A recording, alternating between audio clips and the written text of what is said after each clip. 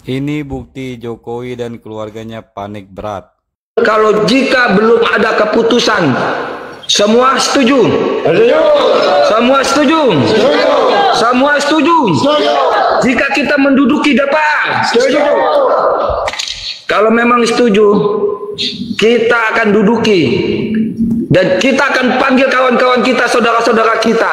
Kita akan panggil seluruh masyarakat, seluruh Indonesia, seluruh umat dari yang Islam, yang Kristen, yang Buddha, yang Hindu dan lain-lainnya.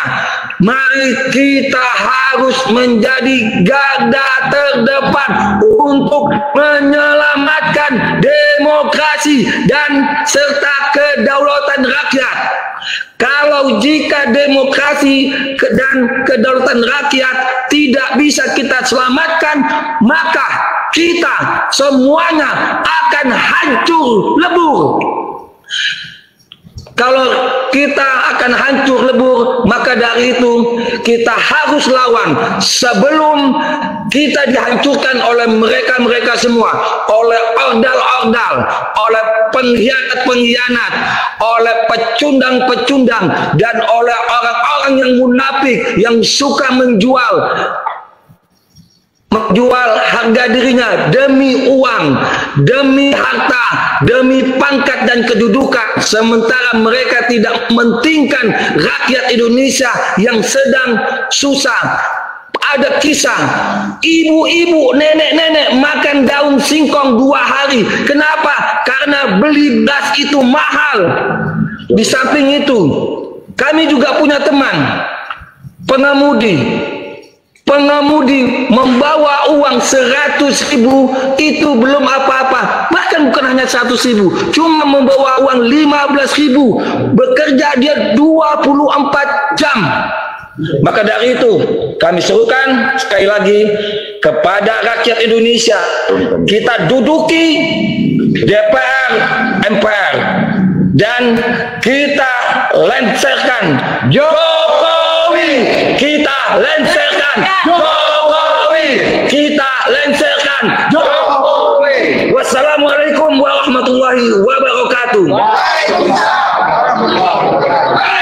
Merdeka.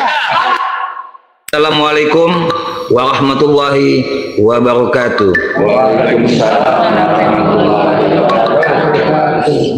Salam perjuangan Salam Indonesia untuk masa depan rakyat Indonesia. Kami dari Gerakan Seribu Masyarakat Sipil Selamatkan Demokrasi Indonesia. Tolak kenaikan BBM, tolak.